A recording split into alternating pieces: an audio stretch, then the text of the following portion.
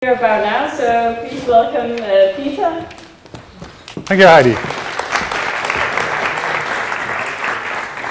So let me tell me a little bit about my own background. I've been building clean rooms for Philips Microelectronics for 10 years. And from that point on, I had a very nice idea what clean air was and should be. Uh, then I worked a couple of years for research company and I was uh, nominated professor in Delft uh, combined. And then I worked for large scale consultancy uh, corporations. Now, in those corporations, we built a lot of hospitals uh, where we could apply the knowledge from indoor air quality to operating theaters, for instance.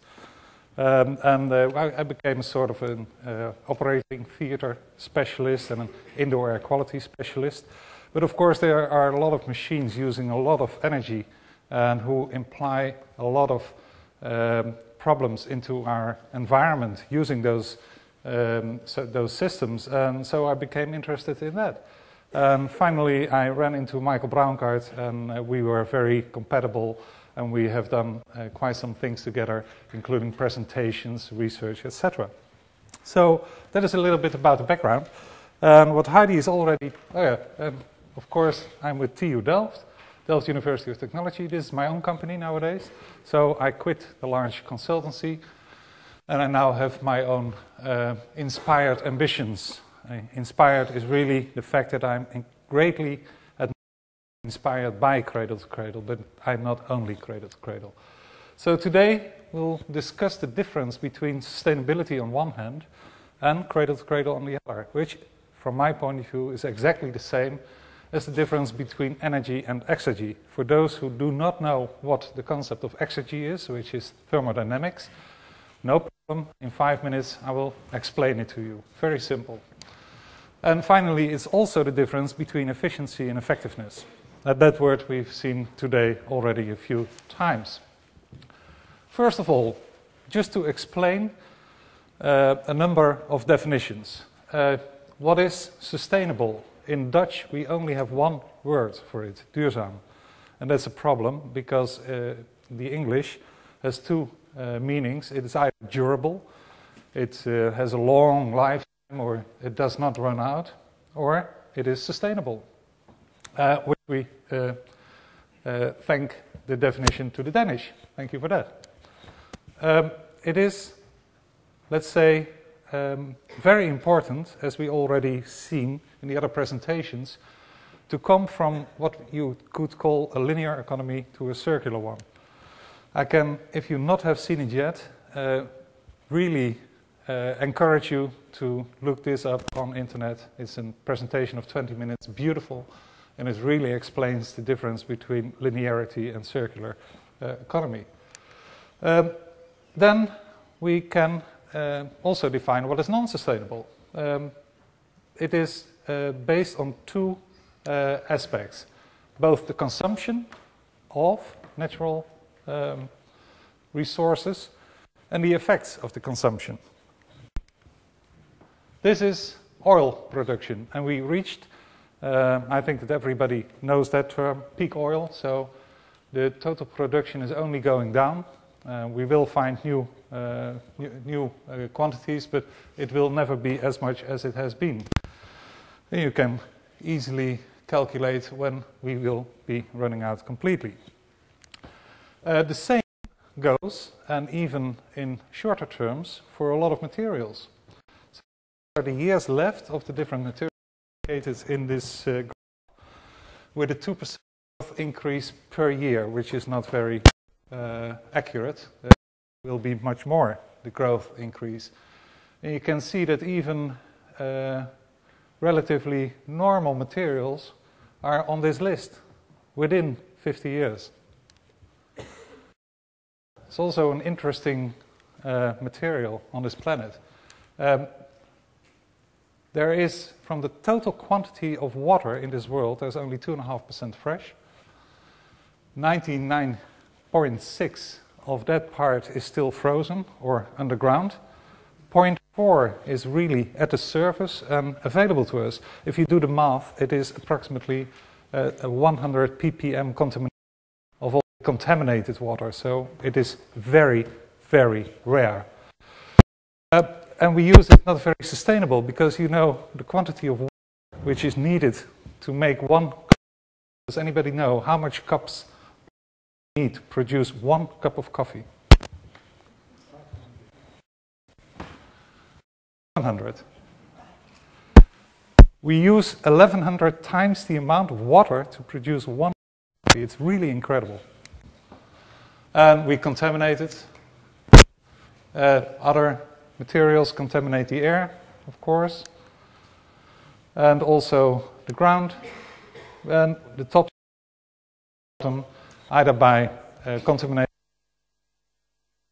filtration, um, are all ways to reduce the amount of uh, uh, available good topsoil. That is about the non-sustainability. Then you can ask yourself why, if the previous slide was not enough yet, why we would go into sustainability. Is it uh, purely idealism? Is it the government who is enforcing new legislation? Or is it the fact that some companies have the idea that they are lagging behind and they would like to run, be a runner, a front runner? Uh, we have seen a lot of market pull on sustainability. In fact, we believe that in time, uh, the sustainability is a value which cannot be ignored. Uh, during the, in, in the process of designing in a more sustainable way, we also encounter a lot of had not seen up until this moment, and I'll come back to that one. This is a financial incentive in order to, uh, to be perhaps more sustainable. It is before the credit crunch, but I thought it was very interesting to show it. It's the mean value of stocks who call themselves CO2 neutral, whatever that may be, and how they have defined it, or how they really do something. But they do it a lot better than the mean stock exchange. So, very interesting perception. Terminology.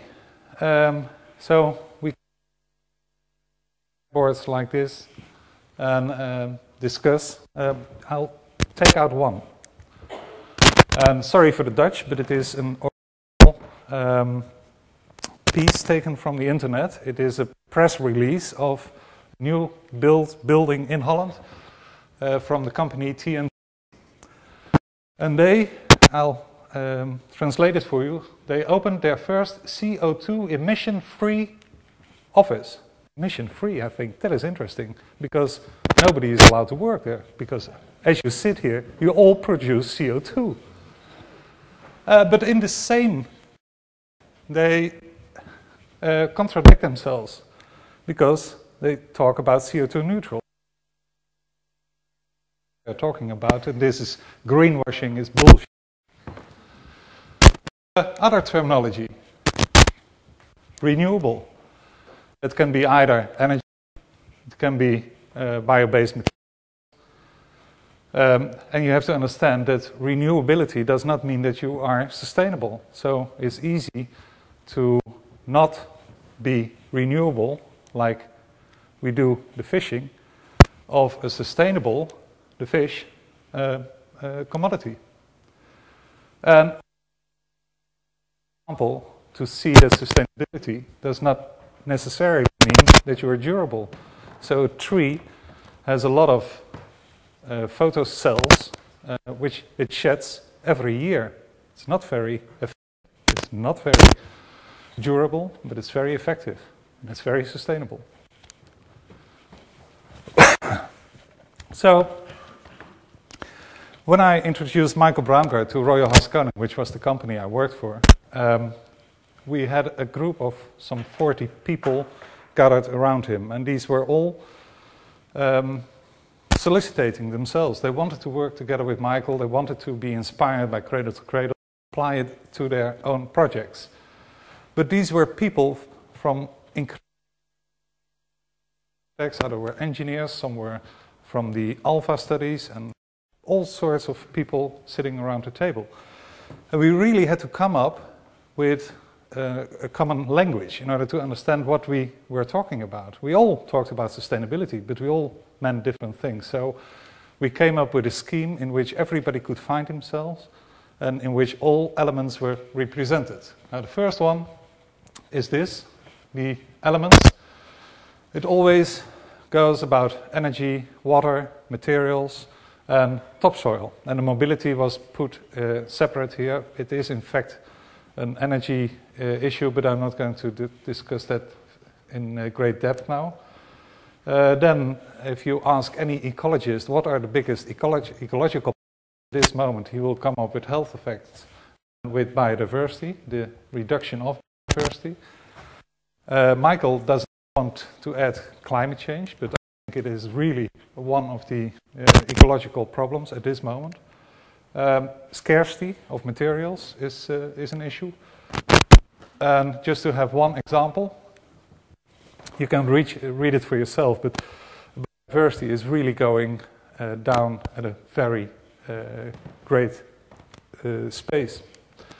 Another example, um, also about biodiversity, uh, interesting one. It is a city in Holland, in the south of Holland. It's called Zoetermeer. Here there's low-rise, uh, high-rise, and here is the old center. Uh, basically, the number of people per hectare increases from left to right. And if you look to the biodiversity, it also left to right, which is completely counterintuitive. But it is a very nice example to show that high density necessarily mean a lower biodiversity. Um, as I showed you the um, uh, peak oil production, this is peak phosphate production. It's already told. Phosphate is an and we do not recycle it anymore. We do not reuse it anymore. We consume it. And therefore, we have a problem in 50 to 70 years' time. The quantities which are still available are also incredibly strange distributed. One third in China, one third in Morocco, and the other spread around USA and South Africa. Um, to say something about how sustainable somebody is or how cradle to cradle somebody is, there are certification schemes like, uh, or first you can calculate life cycle analysis. GreenCalc and EcoQuantum are Dutch uh, programs uh, designed to do this. You can ask any authority to give him your blessing to say you are the most sustainable one. Um, or you can go to LEED, BREEAM, and many others in the built environment. Uh, uh, they are mostly applied. Uh, and also Cradle to Cradle has its own certification scheme. Now, the interesting thing in um, bycatch, what we had when we were talking about um, sustainability in indoor environment, is the indoor air quality in terms of uh, beneficial uh, indoor air quality for people. And you can find that, amongst others, in uh, productivity. Now, this was in the 30s, and you could measure easily the productivity of a uh, conveyor belt employee at that moment just counting the number of telephones that were fixed.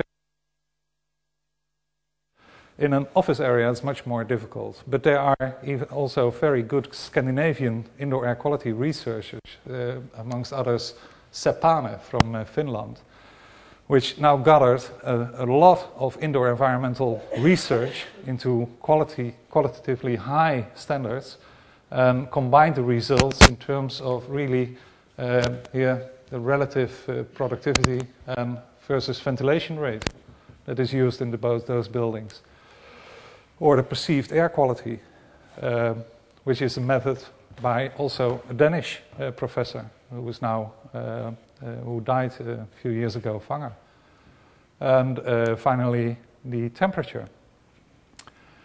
And the point is that in our time we were challenged to design buildings in the cheapest way. So the architect thought of a plan, then we had to come up with uh, installations, and they should be as cheap as possible. And there was no discussion whatsoever that they could be more expensive because that m- might benefit the people. But now we can turn it around. Um, a normal organization, the costs for those organizations are 80% defined by salaries. if those salaries are not working uh, to the maximum uh, capability, then your profit is really going fast away from you. So nowadays the discussion is much more that we should have very good indoor climate and very good indoor climate conditions because to perform under those conditions. Um, the other one is uh, what is already called the Happy Healthy School. Uh, the students at Delft, which are thinking of this uh, greenhouse on top of school buildings. Okay, now we are going to combine the different elements that I've been defining. Um, sustainability um, is based on a scale level. Are we talking about molecular contaminants or are we talking about the planet? Um, we talk about the aspects, the energy, water, materials, etc. And we're talking about the challenges we are confronted with, biodiversity, health effects, climate change, and scarcity of materials. I have one slide on the scale level, and then we'll go uh, matrix. So the scale level, this is, um, let's say, a um, ministry in Holland, in The Hague, which was uh, planning a renovation after 15 years already that it has been built. Incredible, but nevertheless. And we designed this, uh, this workshop where you could uh, go from, let's say, different uh, scale levels, the workplace 1 meter to a corridor 10, atrium 50, building itself 150 to its environment or a part of the city. You can discuss the different aspects, energy, water, etc. And uh, what it helps you is to see that if you cross scale levels, then you can apply different technologies. If you cross the scale level of the building itself, you can go to aquifers under integrated. If you go to um, this level and this level, there's a lot of ministries, and then suddenly all the questions came together. Why do we need all those different cafeteria? Why do we need all those different gymnasiums, etc.? an interesting exercise. But now we go to the other. The other uh, encounters the, uh, the challenges and solutions or ambitions, you can say, versus the aspects energy, mobility, water, materials, topsoil. And I'm not going to read them all, but just to give you one or two examples. Ecological diversity, health effects, and climate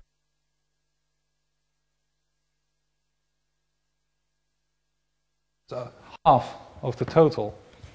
The other half is used to express um, how you are going to do an improvement on your project or an improvement on your way of uh, uh, organization, you organize uh, things. This is the total. And you will get it in a PDF form, so no need to copy it. Quite difficult. Um, and you see that we saw it until this point in the previous one. And here we talk about the judgment. It's also about economics, of course, about cost benefits, about PR as a aspect which uh, is uh, important, and about equity. And not in the financial term, but in the social uh, context. Uh, to give you one or two examples, uh, if you take a closer look to energy, you'll see that the ecological uh, challenges are all chemicals, SO2, NOx, CO2. The scarcity itself is the oil, of course, the fossil fuel. Um, and if you go to, let's say, the cost benefit relation, then uh, this is the traditional way. We do an, um, an, an change in, in, a design, and then we uh, ask how much is that costing extra and what does it bring us, and then we divide the two and we have the payout time, the payback time which is a very simple and very stupid way to assess integrated uh, aspects. Um, the other one, uh, which is already better, is a life cycle assessment over a certain life period. But uh, total cost of ownership is, um, is, is a more, even more interesting one. And finally, total life cycle costing is really an interesting approach. And what does that differ from a normal uh, design? It is different because you're not only looking to the investment cost of the building and the operational cost of the energy and the operational cost of cleaning the building, but you're also going to look to, let's say, a minimum of 15 years changes to the building. Organizations have a very good idea what they changed to their building the last 15 years. And if you ask them, are you going to behave better, better in the next 15 years? They all say no, we are still going to change the building in different ways. So to design it in a more flexible way is a very good investment in uh, a lot of cases. So you have to include those costs. You have to include the cost of non uh, productivity uh, because you did not invest the right uh, uh, air handling units. And you have to pay for the cost of sick leave because the climate is not optimal. So if you do that, then you have a completely different design scheme and are asking in how much years are we going to earn that back. Uh, a last one example, just to understand it, um, it is uh, to look to fairness. In Holland, we had a scandal. It uh, is associated with the name Probo Koala. That is the name of a ship who tried to get rid of toxic waste in Amsterdam. And because it uh, was uh, uh, too tricky, we refused it. And then it sailed to West Africa, where they put it on a dump. And that is a very efficient and a very simple and cheap way, by the way, so it's very good to get rid of our toxic uh, waste, but it's not fair to the, to the native uh, African people. We're all on one planet and we have to deal with our shit uh, together. Okay, um, that's one part. Now we go into more technical part, into uh, the energy part. The energy consumption of the 27 uh, nowadays uh, European Union countries. Um, it is a bit uh, detailed, so I'd better take another one from the same uh, site, which is incredible site, by the way, European Energy Agency. You can download thousands of these graphs over there. Very, very, very interesting. Uh, very up to date also. So the point is that over the 27 countries, we have uh, approximately one third, slightly less than one third in um, transport, one third in industry, and the others combined you could uh, call the built environment. So 40% of our total energy consumption, or here somewhat less, but in Holland it's 40%, is going to the built environment. And in the built environment we have incredibly efficient technology. We use high efficiency plus, plus um, uh, boilers, which have efficiencies which are uh, defining on how you, uh, depending on how you define it, um, uh, nearly or above 100%, slightly above. We are very proud of that, and so we do a very good job. Now, the question is that really the case? Um, in order to understand the answer to, to that question, you have to introduce exergy. Now, exergy is in fact um, Oh, well, this is uh, one slide with uh, thermodynamics. Uh, to understand the first law of thermo thermodynamics, you can say there's conservation of energy. So here's potential energy, here's dynamic kinetic energy, and it is conserved. Um, the second law of thermodynamics, in fact, says that heat cannot be transferred in work for 100%. That is the definition. Uh, you can define it in a lot of different ways, but I understand that this one is the easiest to swallow. Uh, so if you have work, that's beautiful. That is what that's the maximum that you can get from uh, any source for energy. Um, if you have heat, you cannot transform that completely into work, which is um, yeah the other way. You can say quality of heat will always decay, and exergy is not conserved. Now, the quality of energy, you can also call it. It is, um, let's say, if you take a closer look to work, electricity, chemically bound energy, then it's all for 100% to be converted into work, theoretically. In practice, it will be slightly smaller. Heat, you are bound by a certain efficiency, which is the Carnot efficiency. And the Carnot efficiency is, in fact, um, it's a cycle. It's a cycle like you have in your refrigerator at home. But in this case, you produce work with it. Um, in order to understand it, you have one formula, which is this one, with which you can calculate the different amounts of exergy um, destruction, in fact, that we have in our boilers. The first one is uh, gas in, which was 100% exergy, you know, so that's good. But then we make the first mistake, we burn it. And by burning it, we get a flame temperature of 1200 degrees. And you can calculate easily that then you have an exergy loss of 20% just by burning the gas. Thou shall not burn. Um, but we do not need 1200 degrees to heat our homes. So we are going to do anything in our power through heat exchangers to reduce this beautiful 1200 degrees to, let's say, uh, somewhere in the order of 40 to 30 degrees, where we still have 3 to 6% of exergy, and we are nearly successful in destroying all of the exergy that was present in this beautiful gas. So we do not have an efficiency of nearly 100%. We have an exergy um, destruction plant of 894 to 97%. It is really incredible. It's like we are shooting with a cannon on a mosquito. It should be forbidden. Quite sure how the company in Denmark is called, who is um, reselling natural gas uh, to, um, to, to, to companies or houses. In Holland, that's the Gasunie. From a dynamic point of view, a criminal organization which should be terrible.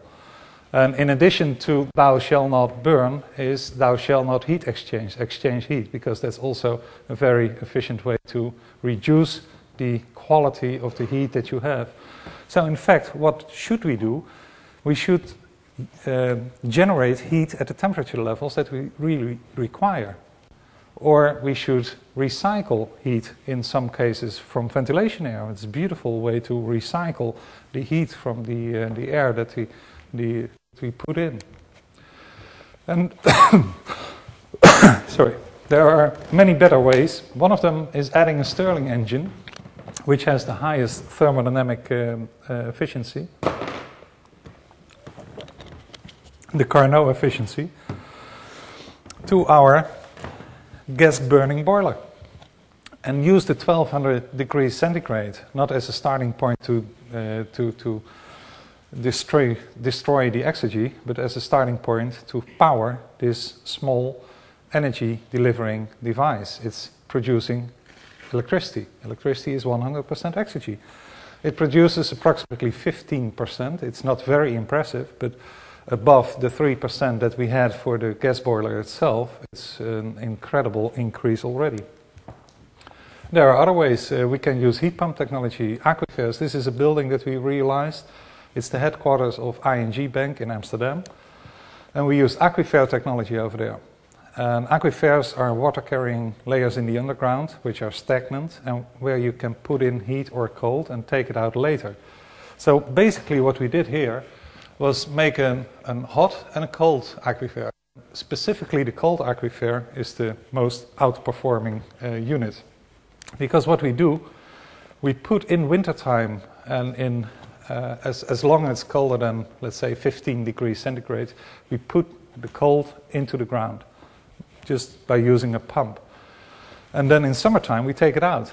Now, here you see measured data for this building for the cold um, required cold over the different months, and here in uh, a year totalized.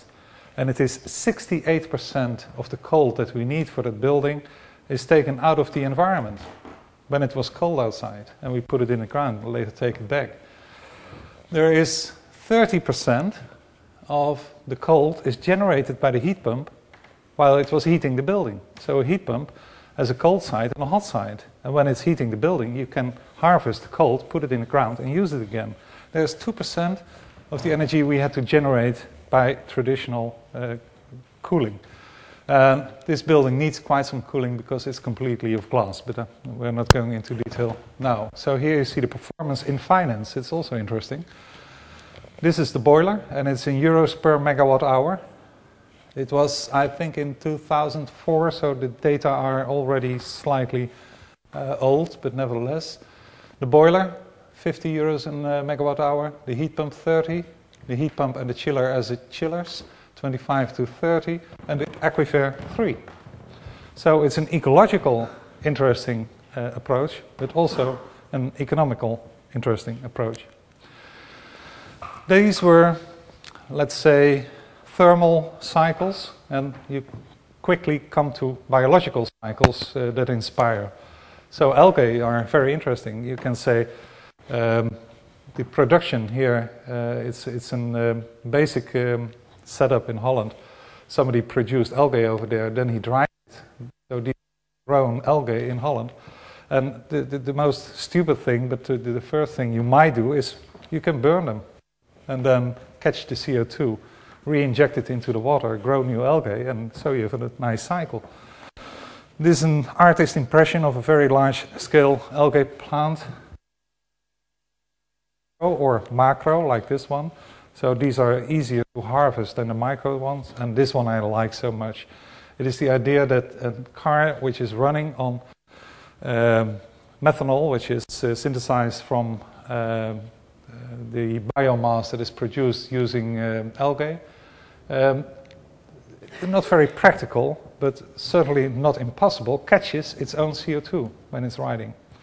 And when it goes back to the pump in order to get a new shot of methanol, then he is, he is also allowed to return its CO2, which then again is uh, changed into biomass, which is changed into methanol, etc. And you certainly have an idea about a very effective um, biological cycle. So in practice, we produce a lot of CO2 in the built environment and also with uh, NOx and SOx, which are all nice inputs for those type of algae grown uh, plants.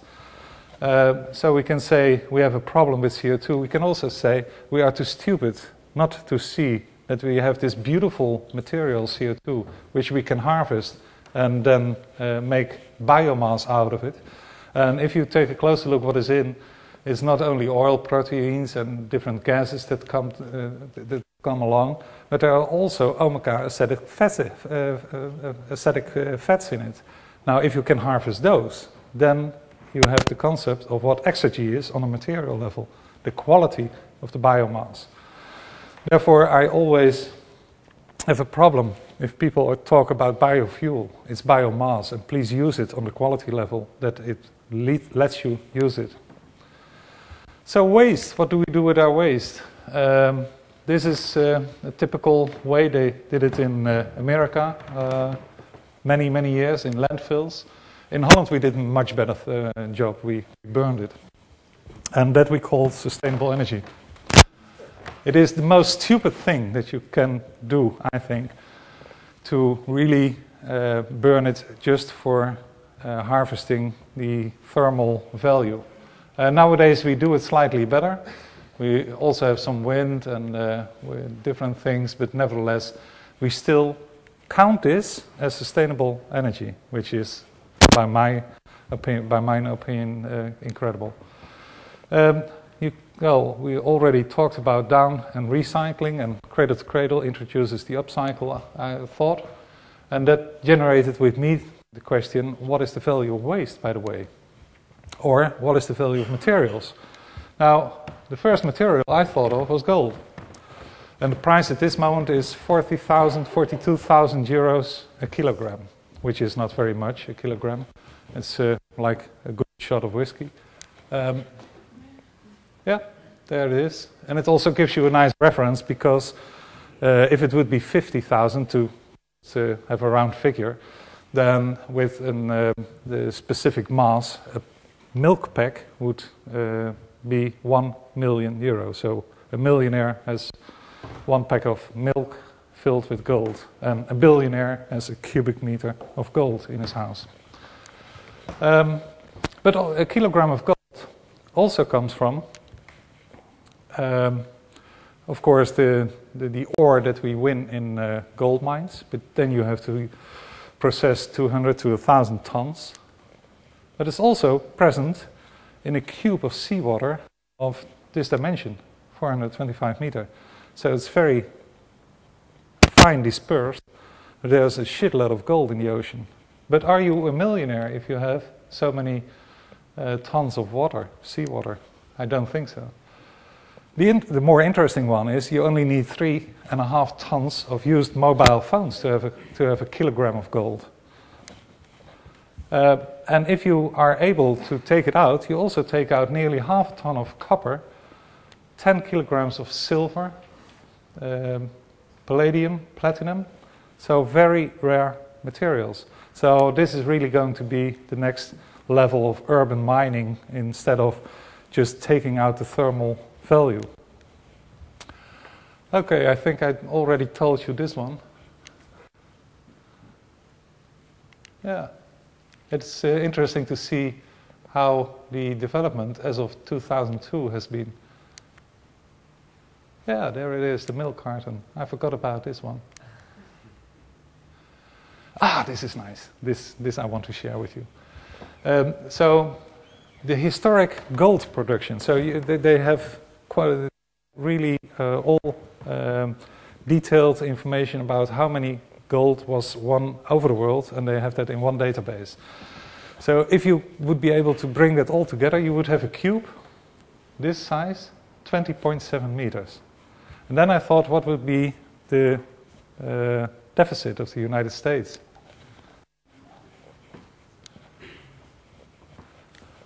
It's bigger. There's not enough gold in the world to compensate for that. Gives you also a perspective of why we still keep quantities of gold uh, in reserves. But okay. Uh, that one I also already mentioned, but it is really uh, one to the other. It is energy versus exergy, and it is sustainability versus cradle to cradle, which is the bridge to cradle to cradle that I needed. So the principles of cradle to cradle already mentioned. I'm not going to repeat them, um, but I will show you a few other slides from Michael Braungart. This one is also very much about the quality in terms of toxicity of materials because we contaminate our, the products that we give to our babies incredibly. Um, I'm not a chemist, Michael is, but he um, assured me that a lot of these are either toxic carcinogenic or mutagenic, and that the quantities, these spikes, are relevant in terms of emissions to those toddlers who are going to consume all of these nice chemicals. Um, and the point is, the previous one was made in China, but under the auspices of Mattel. Uh, Michael always um, also tells uh, people who he's meeting. And at that time, he was, and he's a little bit cocky about it. At that time, he met uh, uh the president of the United States. That was the, the, the younger one. Uh, what's his name? I forgot. Uh? No, no, no. The, the, the, Bush. Thank you. Bush Jr., the small one. And at that time, there was this discussion of the need for weapons of mass destruction. And he said, well, you don't have to go to Iraq for that, uh, or to Afghanistan or whatever. Go to Mattel around the corner. They, they supply it worldwide. And the interesting thing is, it is absolutely not necessary. This one is produced in China as well. It was the mascot of the, um, of the World uh, Fair in uh, Shanghai. And this was uh, the comparable uh, one, you can say, I see two peaks. Well, they were to calibrate the equipment because they thought the equipment failed. Uh, so there's uh, the possibility to really take everything to a biocycle and a technocycle. I'm not going to repeat that again with the examples that have been discussed already. And this one you know now as well also. This one was drawn up by an architect within Haskoning when he was involved, and I asked him, if you think about cradle to cradle, what do you see for possibilities? So it's an uh, impressive list.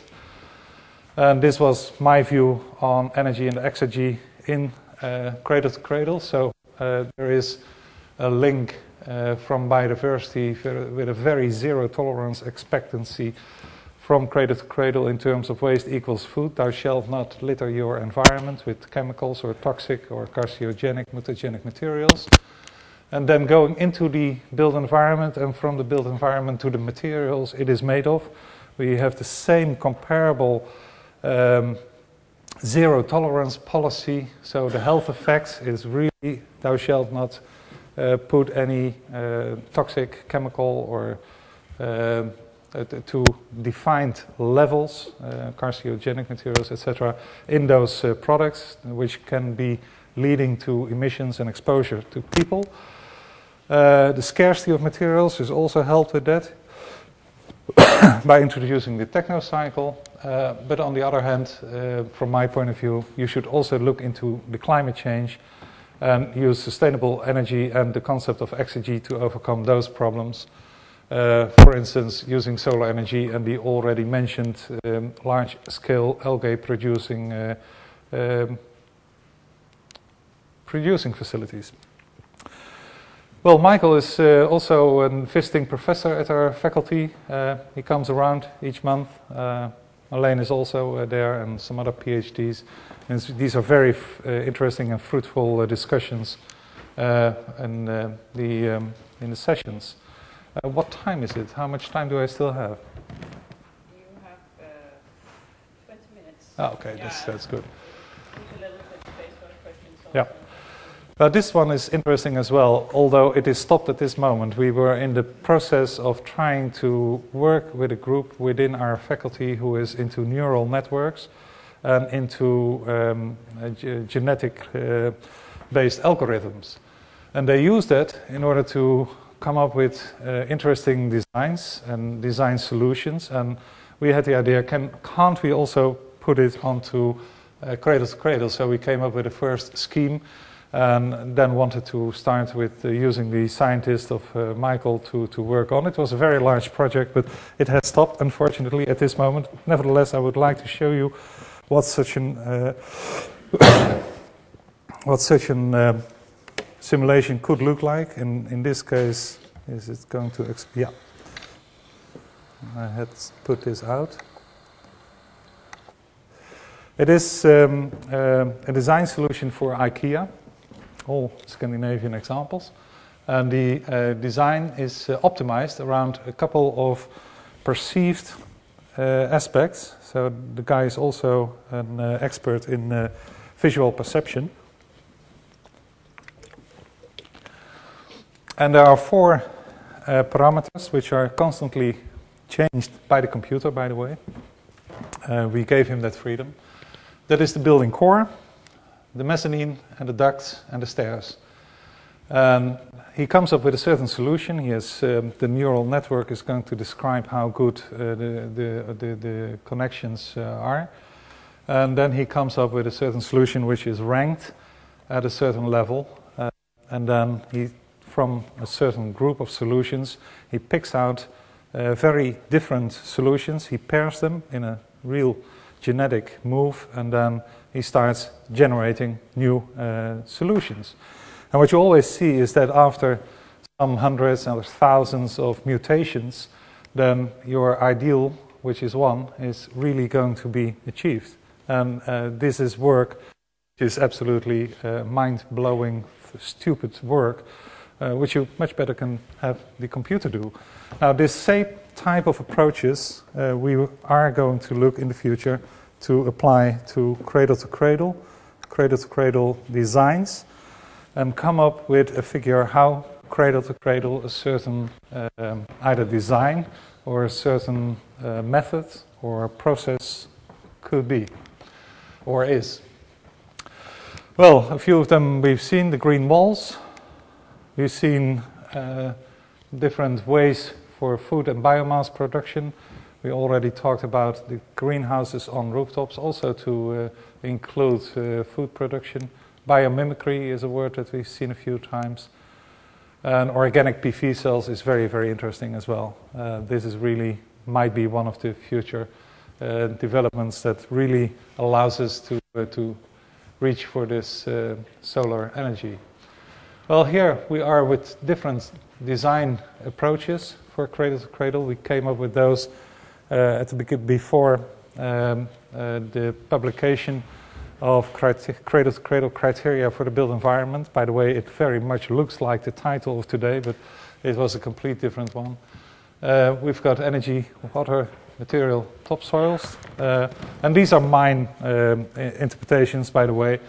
So, producing more sustainable energy than uh, you consume, that might, might be an uh, interesting way for water, just make a better water quality out, as in produce more topsoil than you consume and um, close the cycles with materials in terms of bio and techno. And now I have to make a quick change to show you the publication. That is this one. Cradle to Cradle Criteria for the Built Environment, which is much more extensive than what I showed you a moment ago. Nevertheless, uh, I will show you a few examples how this really can be achieved. Now, I'm not going to do that again. First, I see we go back to nature. Yeah, just to underline that a tree and nature uh, is not very efficient. Uh, it can be durable, but not necessarily.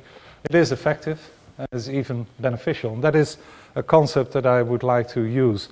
So if you zoom into one of those issues, energy or water or, or uh, topsoil, uh, and it is beneficial, then it produces more than it consumes itself, but not always in a defined way. I'll show you two examples.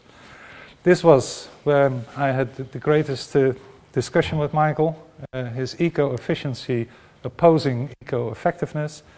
Uh, from my point of view, these work together, and I'll show you how. So eco-efficiency, I agree, it's just less waste, less emissions, and if you're talking about energy, you're talking about the efficiency. Well, whereas with eco-effectiveness, you can uh, talk about no waste, no emissions, or the concept of a positive footprint. Now you've seen the great importance of this concept of a positive footprint. And you reach beneficiality, and you have to use exergy uh, if you talk about energy in this respect. Now, there's a good um, colleague of mine from Germany, Norbert Fisch, who has designed his own new house in uh, Stuttgart.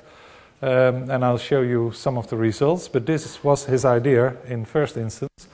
This is the standard uh, data they use in order to define the quality of housing in Germany. Um, you talk about a certain uh, embodied quantity of energy, and you talk about an energy consumption over the lifespan of the building. They also have the approach with the passive house, which is uh, even better. It has slightly more embedded and uh, a lot less energy consumption, but still it is consuming more energy than it uh, could produce. And he wanted really to go not only to an energy neutral or an energy positive building, but a building which would be relevant in terms also from its embodied energy. And he achieved it. So, in this period of 10 or 11 times, well, it's, it's just built, so he has to prove it over 11 years, but all uh, calculations indicate that he will, that in approximately 10 years, he will not produce more energy than he consumes itself, sustainably uh, generated. But he has also paid for all of the embodied energy, and he's really a positive energy contributor to his environment. From that point of view, only energy. This building cannot be big enough. That is the concept of a positive footprint. If you clean your water to a level which is better than it comes in, your building, from an energy, from a water point of view, cannot be big enough.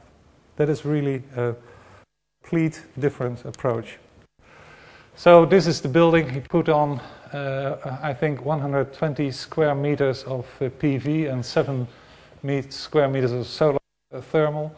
Uh, he generates approximately 150% from what he is needing himself.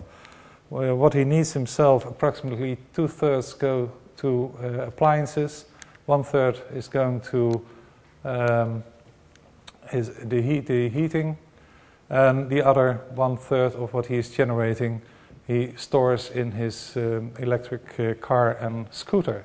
And only then, when he still has excess of electricity, it goes back into the grid. Uh, this is the house and his car and his scooter. You see the PV, and it has also a very nice view. So, um, now the same concept plays to water.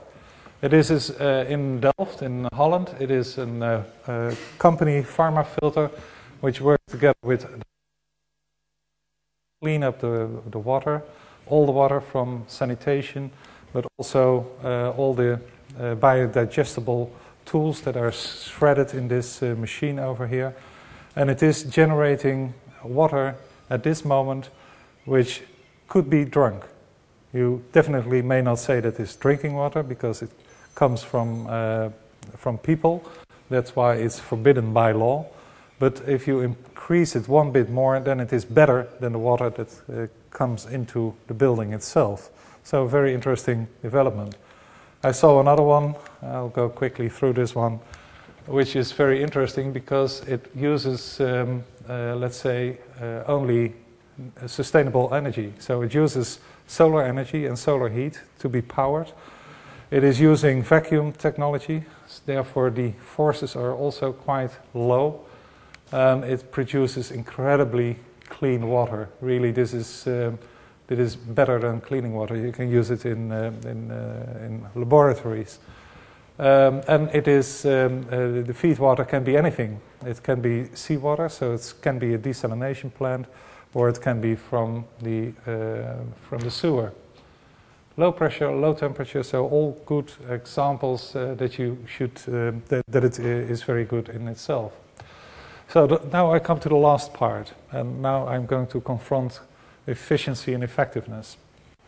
The, just to understand that we talk the same uh, talk. Efficiency is doing things right, so uh, whereas effectiveness is doing the right thing. Very large difference. And you can do you can do bad things very efficient, like burning gas in boilers. Uh, this is very efficient, and it is absolutely not effective. Now, if we apply that to a boiler that we saw earlier, so we have gas, we burn it, and we produce heat.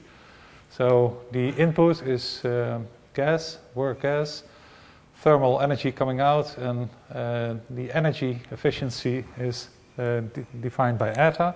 Now, eta energy is the energy which is in, in, the uh, quantity of heat divided by the energy which is uh, represented in the quantity of gas.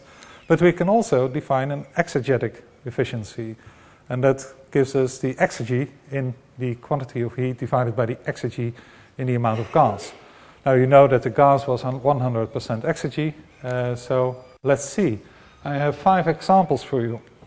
The boiler. Well, I, I, I, told you 100%, but in practice it will be slightly lower because stops, stands stop and starts again. But let's say 80 to 100%.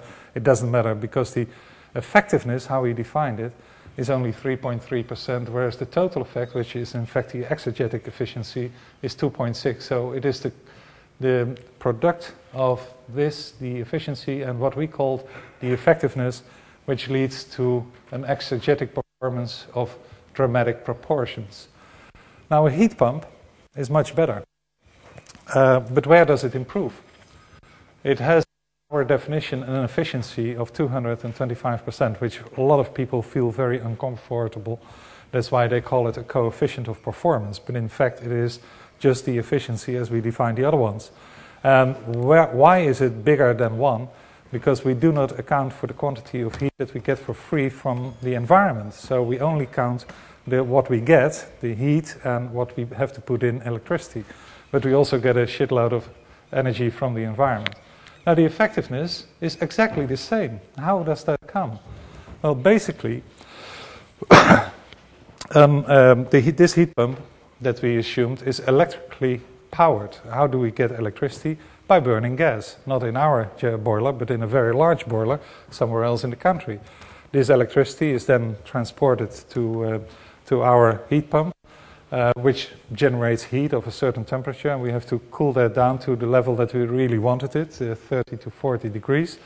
So we're burning gas in order to generate heat of 30 to 40 degrees, exactly the same process as we had in the boiler. So the effectiveness is exactly the same, only the efficiency is much better, therefore we go three times higher.